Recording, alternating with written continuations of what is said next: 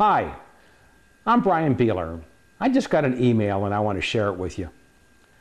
I have a business associate friend of mine. He runs a mid-sized radio company out here in the West, and uh, he's got a couple of problem markets with ratings, and it's presenting the usual sales problems uh, that go along with that. And we were talking the other day, and I said, uh, "Hey, I got an idea. Um, I'm going to send you a copy of my new book. See, Powerful Steps, new book."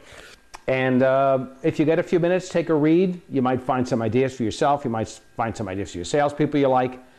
And I put it in Federal Express and just forgot about it because the guy is too busy. Uh, I don't know when he's going to get to it, but he'll get to it eventually. So um, I forget about it. Three days later, I get an email from him.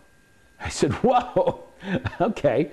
Um, obviously, found the time to look over the book and whatever. So I open up the email and uh, I'm in trouble. He addresses the email to me as Brian, like B R I A N, big bold letters. And uh, I'm going to read you this email.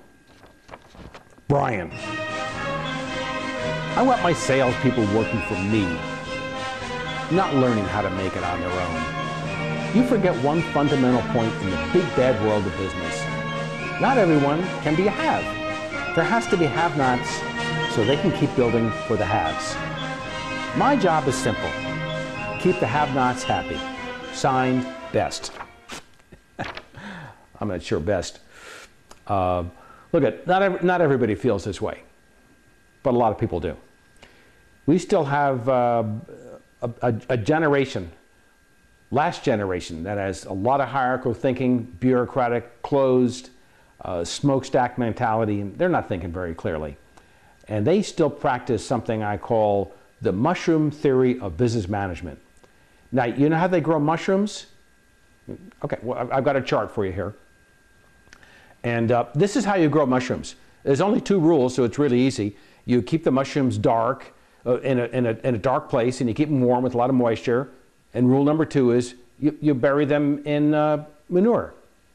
That's a typical uh, mushroom. Thanks. Okay, so uh, you get the idea. Um, you know, if, if, you're working for a company like this, or you think this is how your CEO or your manager thinks, yeah, I'd be looking for a new job.